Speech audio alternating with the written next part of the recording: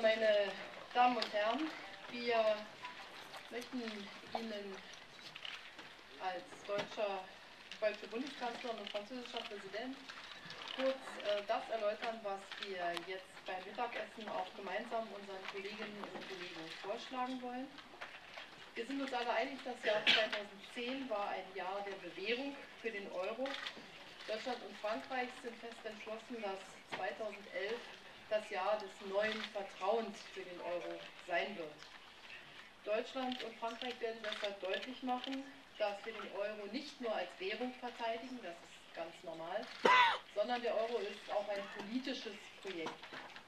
Das bedeutet, dass wir neben den Maßnahmen der Solidarität, die wir 2010 eingeführt haben, zum Beispiel durch den EFSF, den Fonds, der Garantien ausgibt, dass wir neben einem permanenten Krisenmechanismus vor allen Dingen auch deutlich machen wollen, dass wir politisch als Europäische Union, aber vor allen Dingen auch als die Länder, die den Euro als Währung haben, zusammenwachsen wollen.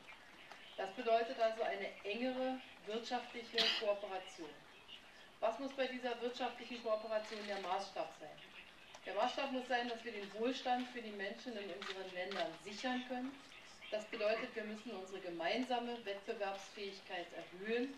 Und dabei muss der Maßstab, an dem wir uns ausrichten, jeweils der Mitgliedstaat sein, der am besten die entsprechenden Bedingungen erfüllt.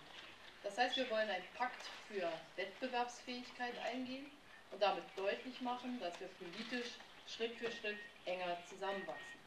Das bedeutet natürlich nicht, dass es keinen Wettbewerb um die beste Lösung mehr gibt zwischen den Mitgliedstaaten, sondern es bedeutet, dass wir uns an den Besten orientieren wollen und dazu auch bestimmte Vorhaben durchsetzen wollen.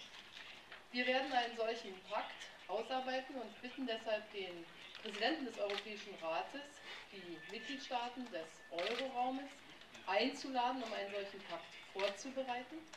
Und wir werden dann andere Kollegen einladen, wenn sie es wünschen, an diesem Pakt auch teilzunehmen. Das Zieldatum heißt, dass wir auf dem Märzrat dann die endgültigen Beschlüsse fassen. Das heißt, wir müssen vor diesem Märzrat in der Eurogruppe uns darüber abstimmen, dass wir einen solchen Pakt und wie wir einen solchen Pakt aufstellen. Ziel muss es sein, aus meiner Sicht, dass wir innerhalb eines Jahres an sehr konkreten Punkten nachweisen können, dass wir es ernst machen und ernst meinen mit einem solchen Pakt. Denn es darf nicht um Reden gehen, sondern es geht um Taten. Es geht darum, dass sichtbar wird, dass Europa den Anspruch hat, ein wettbewerbsfähiger Kontinent zu sein zum Wohle der Menschen in unseren Mitgliedstaaten. Mesdames et Messieurs, inutile de vous dire que je partage pleinement ce que vient de dire la chancelière Merkel dans sa déclaration. Il se trouve que nous travaillons ensemble, l'Allemagne et la France, main dans la main, avec une volonté absolue de soutenir l'euro, de défendre l'euro que nous considérons comme un élément majeur de la construction européenne. Nous voulons renforcer la compétitivité de l'Europe et de son économie. Nous voulons faire converger les différentes économies européennes et nous avons renforcé notre discussion encore ces dernières semaines. Nous sommes donc d'accord sur un plan structurel pour apporter la réponse aux défis que connaît l'Europe. Cette réponse et ces mesures structurelles,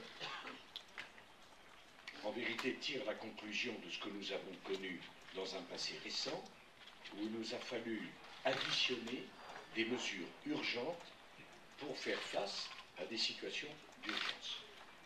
Ces mesures, d'ailleurs, dans l'essentiel, se sont révélées efficaces, tant pour la Grèce que pour l'Irlande que pour le Portugal. Nous voulons, avec l'Allemagne, passer une nouvelle étape, apporter une réponse structurelle. Cette réponse, c'est donc une intégration plus forte de la politique économique au service d'un objectif, renforcer la compétitivité de nos économies.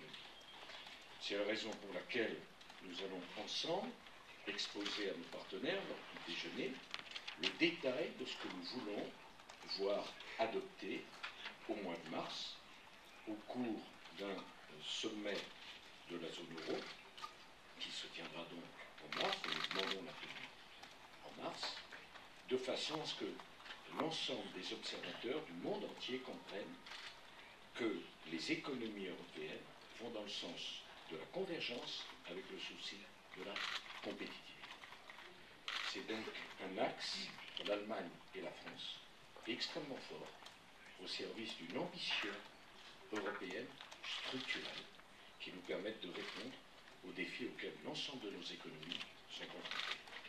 Voilà, nous allons donc exposer ceci à nos partenaires et nous aurons les décisions au mois de mars prochain, d'abord d'un sommet de la zone euro, puis d'un Conseil européen.